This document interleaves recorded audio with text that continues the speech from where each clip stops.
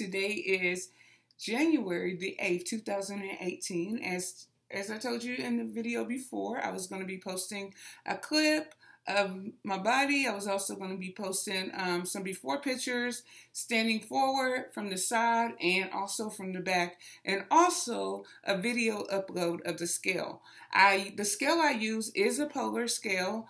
Um, I, as many of you guys know, I am a Polar ambassador, so they send me some goodies. I do reviews, and I've been rocking with Polar for a few years now. Anyways, um, I just want to be clear with you guys about this.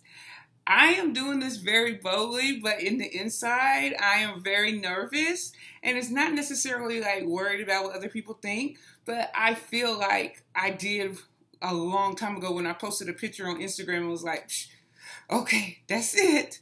It's like a nervous, jittery kind of feeling. I don't really know. But, anyways, I'm doing it anyways. I told you guys I was going to do it, and I've always been transparent and honest in my journey. And why stop now, right? So here it is. And keep in mind, too, I have already lost a significant amount of weight before this and I have extra skin. So my skin is not going to be looking all tight and all this other stuff. I have not had any kind of surgeries. It is extra skin with fat underneath now. So anyways, peace and love. Okay guys, so this is the damage.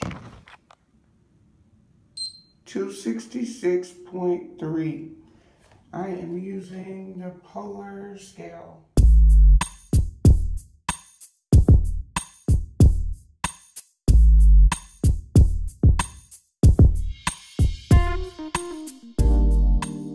Y'all could post this picture on Instagram with a little second hand. Oh, it still look a little decent, but baby.